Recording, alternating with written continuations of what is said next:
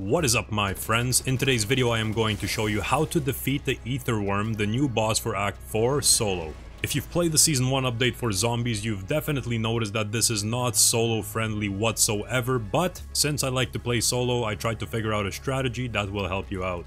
I started the game pretty fresh, I didn't bring in many items from my acquisitions, however if you do have perks I would highly recommend bringing them in. Also it is extremely important, I would almost consider it mandatory to have a large backpack and a 3 plate armor vest. Next, pretty much play through the game, collect as many points as you can and purchase yourself a legendary weapon from the tier 3 zone. If you don't know how to get to that state, I have a video in the description. You will then want to continue completing contracts until you have enough points to pack a punch it to tier 2 at least. I did it on tier 2, you don't need tier 3.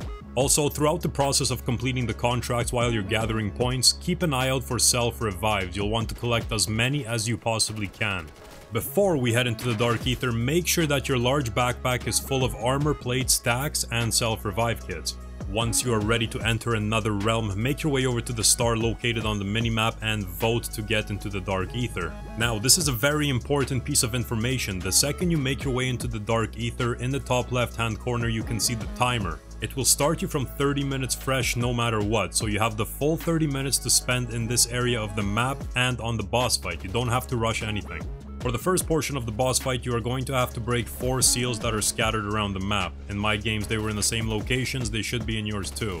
I would definitely recommend having decoy grenades for this step or Kazimir devices, I'll show you when and where to use them. For this first seal it's fairly easy, you don't really need much, with the cryo freeze ammo mod on your weapon you should have no problem getting through this one. Throughout the process of breaking the seals you're going to be killing a lot of zombies, you can use this time to stack up armor plates in your backpack for the future boss fight. Now, for seal number 2, in my opinion this was by far the hardest one with the most amount of zombies and is just in front of the fortress. What I did the second I got in front of it, I threw my Kazimir device in front of it, I activated the seal and you can see just how fast the progress bar fills up from the Kazimir device. If you don't have those, you can throw down a decoy just in front of it and just mow all of the zombies once it's active.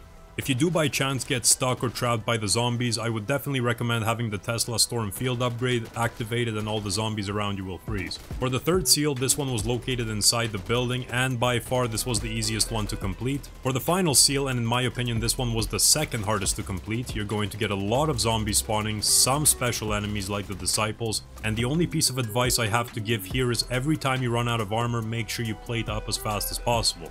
Now it's time for the boss fight ladies and gentlemen. In my my game I found one of these dark aether rifts around the perimeter of the map. I used this to get to my starting location. The Dark Aether Worm is going to spawn in the exact same location every game, just on the beach side of the fortress.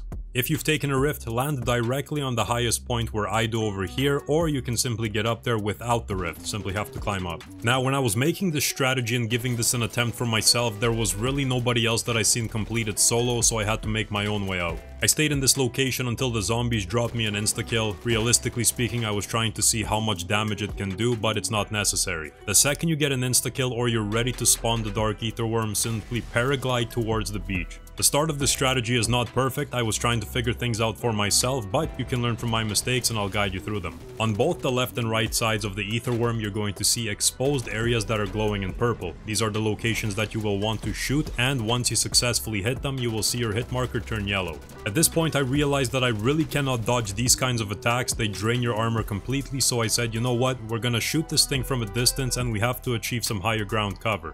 I decided to run up this hill, there's both a staircase on the left side and on the right side for your convenience. Once I was up here, I continued shooting the worm from this distance. At some point you will notice that the worm is going to burrow itself underground and basically run around swimming underneath there, you will see the debris flying from above. I had no idea how to get him out of there aside from jumping back down to the beach area. There is also an ammo cache here so I would definitely use this every time you run down just to fill up. Every time the worm would come out of the ground I would continue shooting the exposed purple locations and back up the stairs we go.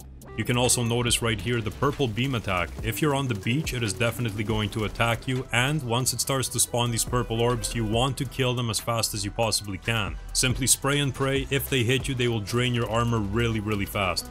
And if they're out for too long without being killed, the Aether Worm will go back underground. Now for this next portion the strategy is pretty much the same, you'll want to use the left side and the right side of this building as cover to prevent those slam down attacks. Every time the attack is over, run right back to the worm and start beaming the exposed areas. If at some point you do run out of armor plates or you run out of self revives, you can destroy the purple crystals around the map in the hopes that they'll give you armor plates, and you can also kill off the zombies that are coming after you so they can drop armor plates as well. When it starts to charge up the laser attack, even if you're not directly behind the building, it still wasn't hitting me in my game, and when it comes out of the ground it can sometimes swoop you up in the air completely and you can parachute right behind the building. At the time of recording this video it was the only complete solo strategy that I was able to find with one player in the game. That being said it's not going to be perfect, but it's the best that I could find so far. If anybody has any additional information that can make this easier, drop a comment down below, subscribe if you never want to miss an upload, and until next time, I'm out. Peace.